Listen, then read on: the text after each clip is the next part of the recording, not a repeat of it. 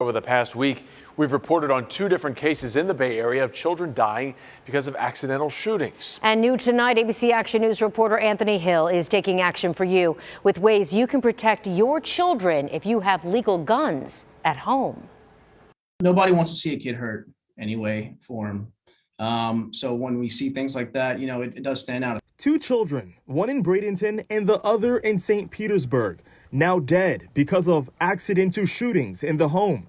The Manatee County Sheriff's Office saying it was an accidental shooting when a 15 year old shot his 16 year old friend in the head. Meanwhile, across the bay, the St. Petersburg Police Department telling us this evening that they're still investigating how that nine year old boy who shot himself last Friday got the gun in the first place.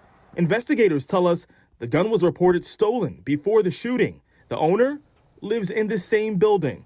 All of this as a national discussion about gun safety continues.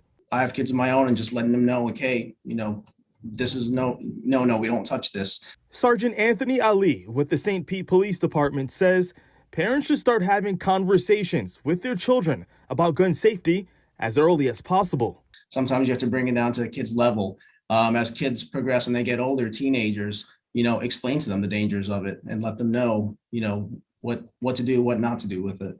St. Pete Police urges parents to do three things in order to protect their children around guns. Number one, uh, it's not a toy.